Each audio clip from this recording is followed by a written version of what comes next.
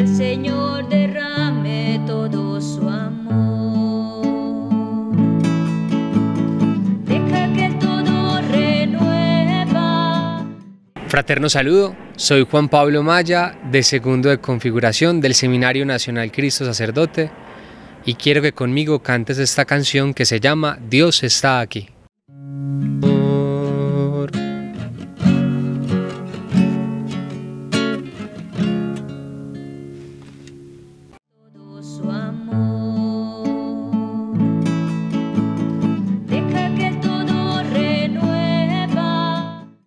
Saludos muy especiales para todos ustedes, amigos, amigas, que se unen a través de este medio para compartir la doctrina social de nuestra iglesia. Nos da mucha alegría hoy aquí con mi compañero de diócesis poder interactuar, profundizar más acerca de nuestra doctrina en este programa Jesús Evangelio. De verdad que eh, solo el título nos dice a nosotros la profundidad que tiene el ir nosotros queriendo aprender más de nuestra iglesia católica. Jesús es el Evangelio por excelencia que se nos actualiza y de esta forma entonces nos invita a que nosotros lo interioricemos, lo hagamos vida. Hoy está con ustedes el seminarista Alexis Javier Hernández Santos. Alexis es también compañero mío de la diócesis de Santiago de Veragua en Panamá. Somos cuatro seminaristas que se nos ha dado la oportunidad de venir a formarnos aquí en el Seminario eh, Nacional Cristo Sacerdote de la Ceja Antioquia, una gran oportunidad para seguir eh, también perfeccionando un poquito más los conocimientos que hemos adquirido en la filosofía y ya pues llevarlo a plenitud acá en la parte teológica para ver si es la voluntad de Dios algún día que nos regale el ministerio sacerdotal. Alexi, me gustaría que a los amigos, hermanos, que son fieles a este programa, que nos sintonizan, que nos ven. Esto me gustaría que le compartas acerca de tu experiencia de vocación, el llamado que Dios te ha hecho a este caminar con Cristo, de dónde vienes, especialmente tu comunidad y cómo ha sido este proceso, la experiencia ahora que estás viviendo aquí en el Seminario Nacional Cristo Sacerdote. Así es, gracias Oscar Mario. Creo que el primer principio donde debemos partir al hablar del aspecto vocacional es reconocer de que esto es un don, es una gracia de Dios. Nosotros por nuestros méritos eh, no somos capaces de llevar esto ni tampoco desarrollarlo por sí solo, sino que es Dios mismo que en su amor, en su misericordia, nos llama, nos invita y nos prepara. Y siempre cuando se hace pastoral vocacional hacía énfasis en este aspecto, porque muchas veces se tiene el miedo de responder o empezar un proceso de discernimiento vocacional y en este sentido es bueno recordar de que es el Señor que en primer lugar toma la iniciativa de llamarnos, es Él quien nos llama, pero además de eso en el camino nos va preparando, ¿cierto? Y si hablamos del ministerio sacerdotal, pues es un proceso que para muchos quizá es un poco largo, 8, 9, 10 años, en fin, pero que también al final de la preparación es el Señor que nos envía. Entonces en este sentido es como lo primero que debemos tener en cuenta y, y lo traigo también a mi historia vocacional. Ciertamente como jóvenes de Panamá, de Santiago de Veraguas, donde somos, eh, es una sociedad donde es tan normal y natural los jóvenes, donde hay una cantidad de situaciones en las que se ve envuelto el joven. Y sin embargo, el Señor llama de esa realidad. ¿Y por qué digo esto? Pues porque, y no me da pena decirlo, antes de entrar al seminario, en el 2017, poco participaba en la iglesia, poco participaba en las cosas de Dios, podemos decir, pero a pesar de esa realidad, pues el Señor llama. Y llama porque, no porque seamos los más bonitos, ni tampoco nos llama porque seamos los más capacitados, ni nos llama porque somos de otro planeta o de otro mundo. Nos llama porque quiere hacer de nosotros un instrumento de bien.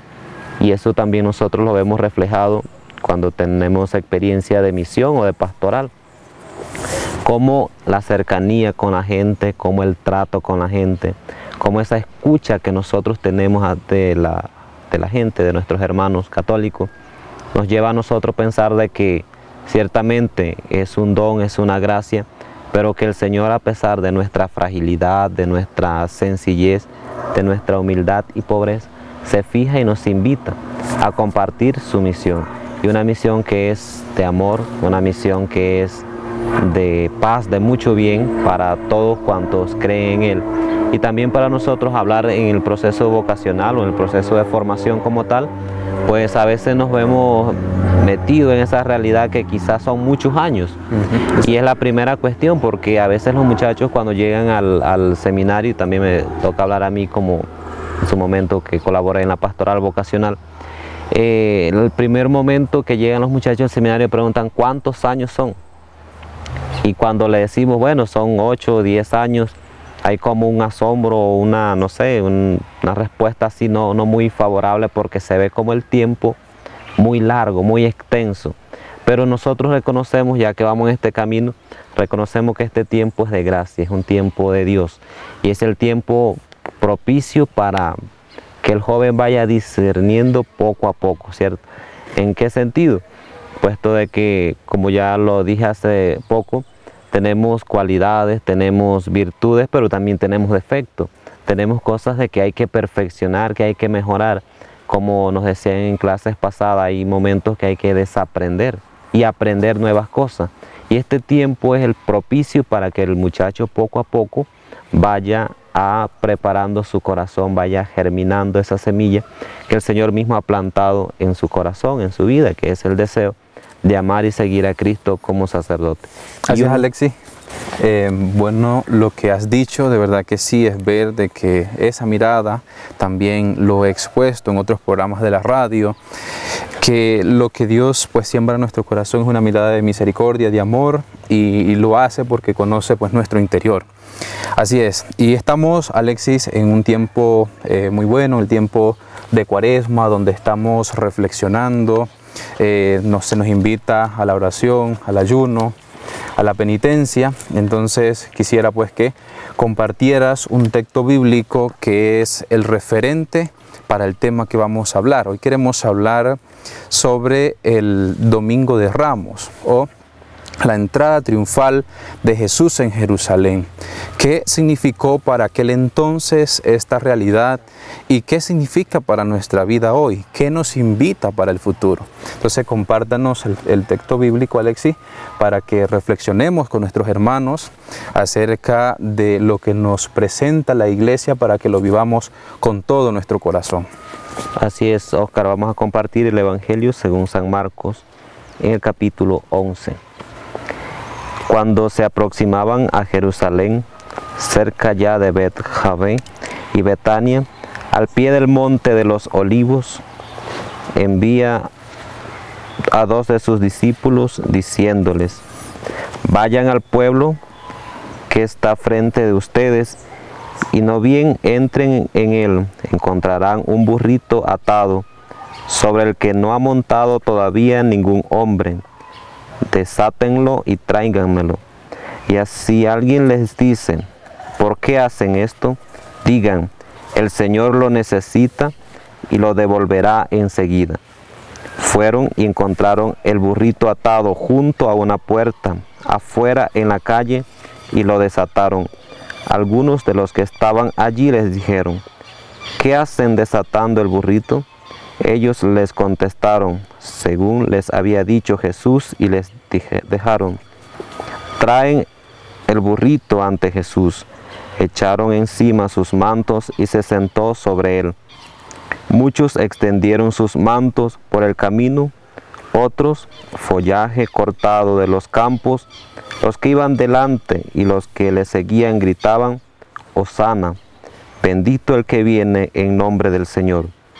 Bendito el reino que viene de nuestro Padre David. Osana en las alturas. Y entró en Jerusalén, en el templo, y después de observar todo a su alrededor, siendo ya tarde, salió con sus doce para Betania. Palabra del Señor. Gloria a ti, Señor Jesús.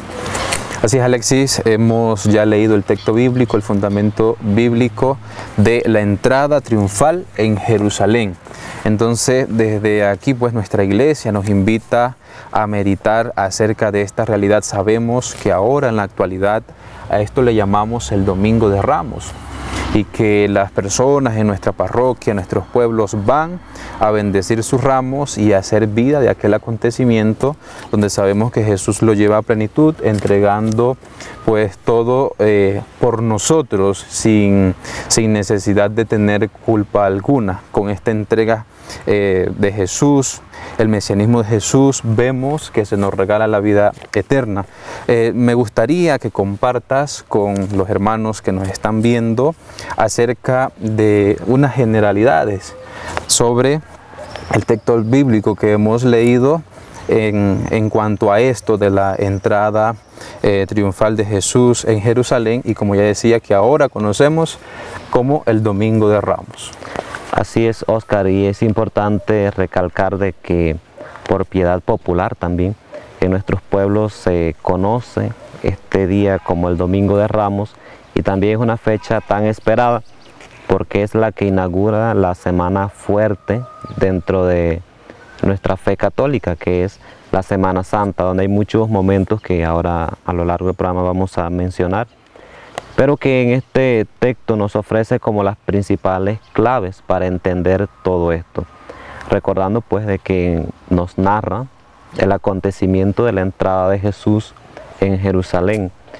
Y cuando nosotros pensamos en este verbo entrar, esta primera realidad, o cuando vamos a, es por un fin, es por un propósito. No vamos a un lugar simplemente porque son antojos o son apetitos o por accidentes de la vida, no, sino que entramos, hacemos todo un ejercicio para ir porque hay un propósito. Y en este sentido es lo, primero, pues vamos a reflexionar en ese sentido. ¿Por qué entra Jesús a Jerusalén? Sabemos de que por la historia nos narra que este pueblo esperaba a un libertador, esperaba a un salvador, esperaba a alguien que los liberara pero no con una fórmula espiritual, sino como podemos decir con una fórmula terrenal que hasta entonces se utilizaba. ¿Qué esperaban de ese libertador? Un guerrero, alguien fuerte en poder, que quizá iba a entrar con toda la realeza. Sin embargo, Jesús entra de lo más sencillo, de lo más humilde. Entra reconociendo cuál es su propósito y en fin a eso también hace toda su, preparación, todos sus elementos que le acompañan, que tienen este sentido como de la humildad, de la sencillez.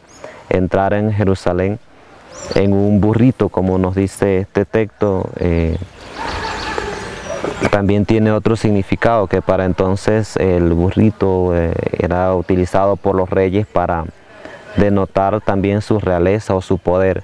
En este sentido, pues seguimos reflexionando sobre lo que representa el burrito que tomó Jesús para entrar a Jerusalén como un medio también que nuestro pueblo es conocido como un medio de transporte, pero que también dentro de este texto nos ofrece un significado aún mayor, porque entra Jesús que lleva su plan de liberar al pueblo pero utilizas medio tan sencillo, que es uno de los elementos de que estamos reflexionando, la sencillez o la forma de la cual Jesús se toma, se vale para llevar a cabo su plan mesiánico de salvación. Así Alexis, eh, bien lo has dicho, el pueblo de aquel entonces entendía la presencia o la entrada de Jesús en Jerusalén como, como sí, como un rey, esto, pero temporal de ese tiempo que les iba a liberar de la opresión que estaban eh, atravesando. Por, sobre todo por el imperio romano. Entonces vemos que esa expectativa no es llenada y es allí donde se da la situación que cuando le, glorifican, le aclaman con, los ramos, que por eso hacemos alusión al Domingo de Ramos, que le dicen bendito el que viene en el nombre del Señor y todo esto, son los mismos que después nos los va a decir el relato bíblico, le van a crucificar. Más adelante de lo que leímos ahí en, en la Biblia, vemos de que él llora por Jerusalén. ¿Y por qué llora por Jerusalén? Porque en sí es una ciudad que podemos decir que alaba a Dios solo con los labios. No hay eh, una, una verdad en el corazón de, de reconocer a Cristo como ese Señor, como ese Mesías enviado por Dios. Y es aquí la situación que se da. Si en verdad le aclamaban, le bendecían, sacaban los ramos, tendían, eh, no sé, túnicas, eh, manteles por, por donde él iba pasando, reconociéndole como rey, porque son aquellos que después van a gritar, crucifícanle. Es algo difícil como de entender, pero ahora a la luz de la fe vemos a dónde esto nos quiere llevar. Y Alexis, si analizamos un poco la realidad hoy de vida en la que vivimos, estamos viviendo en un mundo que está haciendo lo mismo. Aún reconoce la presencia de Jesús, pero sigue haciendo lo mismo. En el sentido de que eh, es incoherente con esa forma de vivir. Por un lado, eh, alaba, bendice al Señor, es cierto, cumple pues el precepto de la Eucaristía, eh, cumple también ir a buscar de los sacramentos, pero lo más malo aquí es que, que lo, lo, toma como de momento, como algo que en sí no, no lo lleva a su vida para, para reconocer verdaderamente a Cristo. ¿Cómo, ¿Cómo, lo entiendes tú también en la actualidad, lo que refleja de aquel entonces, eh, ahora pues en nuestra vida, sobre reconocer a Cristo como el Mesías, no solamente alabarle con los labios? Así es, y creo que en este aspecto también hay que reflexionar sobre cuáles son las cosas que nos mueven a nosotros a tomar acciones sobre el aspecto espiritual, recordando de que ciertamente Jesús entra en Jerusalén y ahí, como lo mencionaba Oscar, las personas gritan, sana, bendito el que viene en nombre del Señor, y lo aclaman como un supuesto rey, pero son estas mismas gentes, también la historia dice que sí, otros que no, que son los que gritan el viernes santo, según la tradición, crucifican. Y es que a veces nos puede pasar a nosotros, en aquel momento el pueblo de Jerusalén y todas estas ciudades, todos los que vivían para entonces, contemplan a Jesús de manera eh, ciertamente espiritual, pero también de forma personal. Hay muchos acontecimientos o muchas acciones que son movidas por sus sentidos, la cual llevan a clamar a Jesús. Pero también hoy nosotros nos podemos cuestionar, ¿está Jesús presente entre nosotros? Y ciertamente de manera personal, quizá no lo vemos como tal, pero sí de una manera espiritual y para eso acudimos a los diferentes actos de piedad popular, también a la Eucaristía, que es el culmen de nuestra fe cristiana, y entre otros elementos que van como enriqueciendo nuestra parte espiritual, pero que tienen como fin reconocer a Jesús también en nuestra vida. Lo que en este sentido debemos reflexionar es cuáles son las cosas que nos llevan a nosotros opinar o decir algo sobre Jesús. En este sentido, nosotros también el aspecto vocacional es un tema como muy serio, de mucha cuestión, porque si alguien nos pregunta referente de Jesús, ¿qué decimos? Decimos simplemente lo que la gente dice. Y partiendo de que, del hecho de que cuando entra Jesús en Jerusalén, hay muchos que gritan, pero todos los que gritaban lo hacían por convicción, reconociendo a Jesús como el que viene en nombre del Señor, como lo que decían ciertamente con sus palabras, había brotado precisamente de lo que había en su corazón, de lo más profundo de su corazón, o simplemente por sentimiento, porque, lo, porque mucha gente lo decía, como se suele decir, aunque el comentario de muchos lo digan muchos, no significa que siempre sea verdad y que siempre partan de sentimientos verdaderos. También la pregunta para nosotros es, hoy cuando decimos algo de Jesús, lo decimos por convicción, lo decimos porque creemos, porque tenemos fe en ello, o simplemente repetimos discursos que a menudo escuchamos y que ciertamente no son malos, pero que son discursos que solamente quedan en palabras y no quedan en esa experiencia de fe, en esa vivencia del corazón. Por poner un ejemplo, muchas veces, y también creo que es un tema muy serio que hay que, que reflexionar, por ejemplo, cuando nosotros rezamos el Padre Nuestro, ¿cómo lo hacemos? Simplemente porque es una oración que hemos aprendido en casa, nos lo han enseñado nuestros padres, lo hemos aprendido en las catequesis y que a lo largo de la vida o por tradición lo hacemos y que muchas veces incluso lo hacemos como decimos nosotros los panameños, a estilo de la carretilla, es decir, rápido. Es decir, que no conectamos lo que dicen nuestros labios con lo que hay en el corazón. También es un tema de, cuestión o de reflexión para nosotros en este tiempo de cuaresma, en este tiempo ya de la Semana Santa, eh, cuáles son los sentidos, cuáles son las acciones que nos motivan a nosotros decir algo de Jesús. Y en este sentido lo, lo que decimos ojalá sea verdaderamente que parta del corazón a nosotros, parta de esa experiencia que hemos tenido de conocer a Jesús. Y en el tiempo de Cuaresma es un tiempo muy propicio para esto. Se nos invita mucho a la conversión, mucho a la oración, pero es que la conversión, el ayuno, la oración, no tendrían sentido si no conocemos a Jesús. En este sentido, pues tenemos que tratar de encarnar verdaderamente lo que conocemos de Jesús en nuestro corazón y, un dato más importante, no solamente quedarnos en palabras, sino también transmitir con nuestras acciones que verdaderamente hemos escuchado, que hemos conocido a Jesús. Y en este sentido no solamente gritaríamos, Osana al que viene en nombre del Señor, porque la mayoría lo dice, sino lo gritaríamos de verdad de convicción, porque he tenido experiencia de ello, lo he conocido y por eso reconozco de que es bendito porque es el Rey, es el que viene a salvarnos en nuestras vidas. Así es, Alexi, muy bueno eh, esta parte pues donde en verdad invitas o dices que debemos vivir, vivir, llevar a nuestra vida, a nuestro corazón y, expresarlo con nuestros labios la verdadera realidad de Cristo, no por lo que dicen, no por lo que hablan, no por dejarnos llevar por el momento, sino porque es lo que hay, lo que habita en nuestro interior. Y así es, hermanos, ojalá Dios quiera que ahora que vamos a vivir el Domingo de Ramos, sea un acontecimiento donde recordamos históricamente lo que sucede con Jesús, pero que también veamos que en la figura de Jesús eh, está aquella eh, figura del mismo Dios del cual nos ha querido redimir por amor.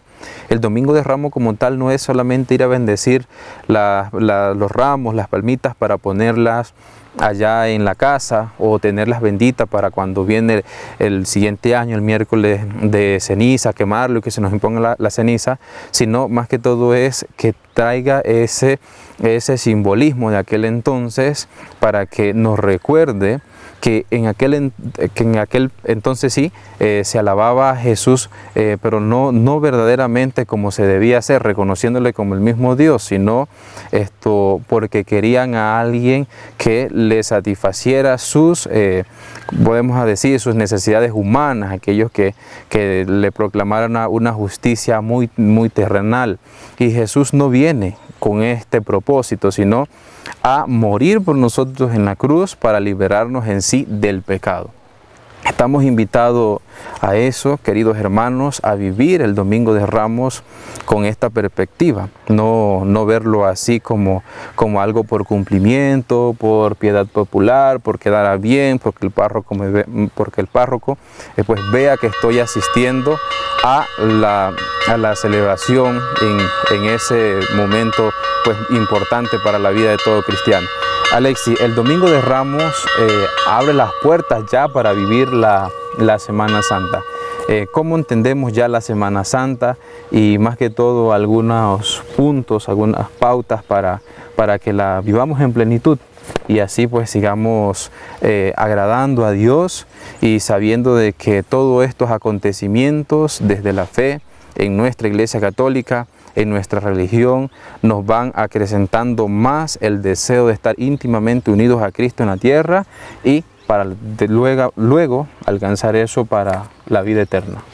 Así es, en este tiempo que es tan privilegiado para la iglesia que es la Semana Mayor, como la conocemos, o la Semana Santa, en primer momento se nos narra, eh, y esto es algo, un dato importante también, uno de los acontecimientos que encontramos en los cuatro relatos del Evangelio es la entrada triunfal de Jesús en Jerusalén. Ya ahí en adelante cada uno pone un aspecto interesante, uno que otro dato, sobre lo que hizo Jesús ya estando en Jerusalén, pero así de manera general desde el día lunes santo, martes y miércoles santo, de que estos días se eh, reflexionan sobre los hechos de Jesús en Jerusalén. Y luego entramos a lo que litúrgicamente conocemos como el trido pascual. el tiempo, así como podemos decir, como muy fuerte de la Semana Santa, pero que también representa un dato importante para toda la vida cristiana, que es el Trido Pascual, que iniciamos el Jueves Santo, donde hay muchos eventos, hay muchas características puntuales.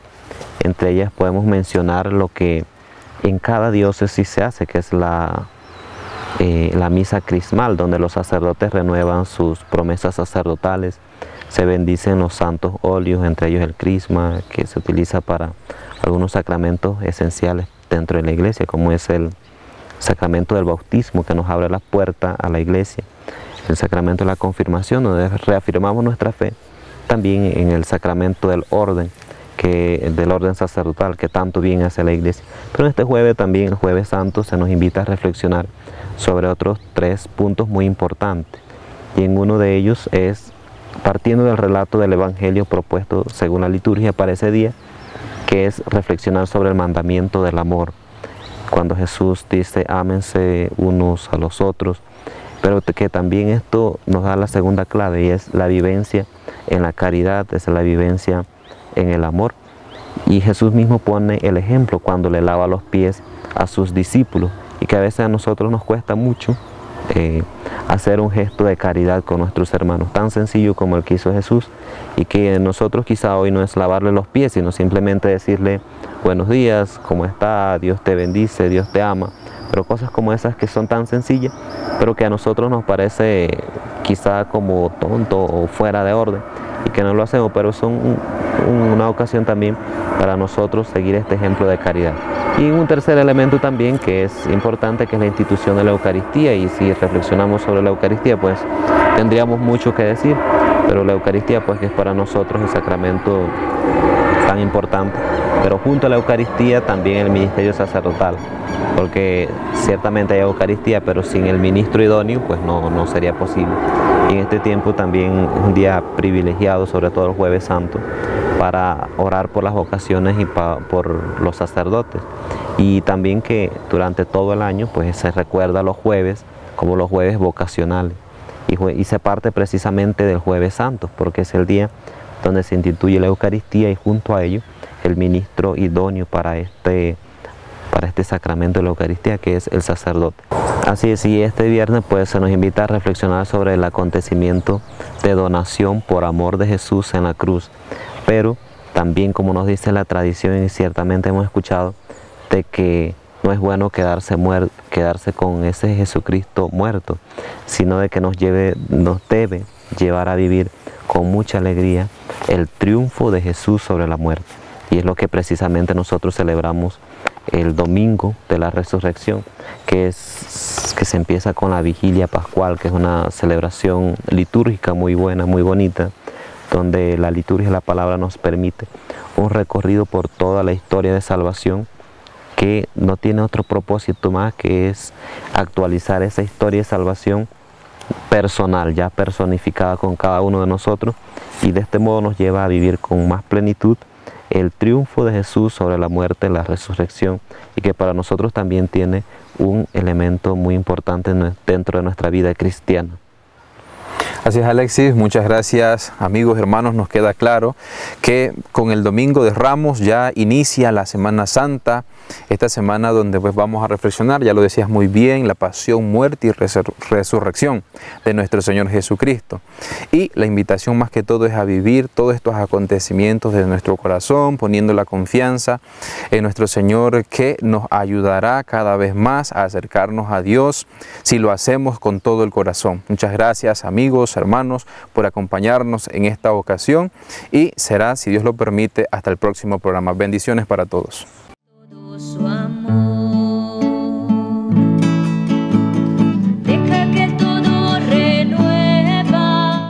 A continuación, una hermosa canción que habla de nuestra entrega a Dios y sobre todo de la entrega que Dios hace por nosotros. Se llama ¿Qué te puedo dar?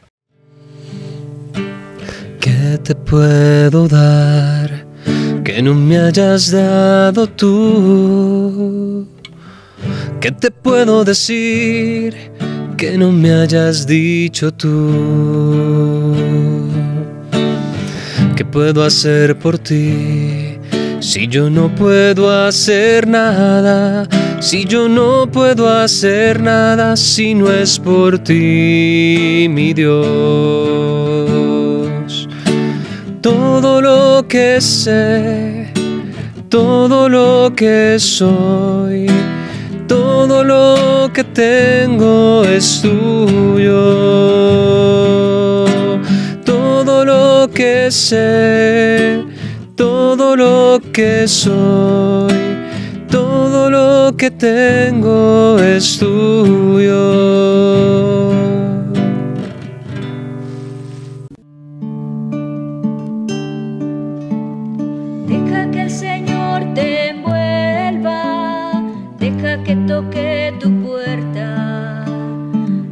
Que el Señor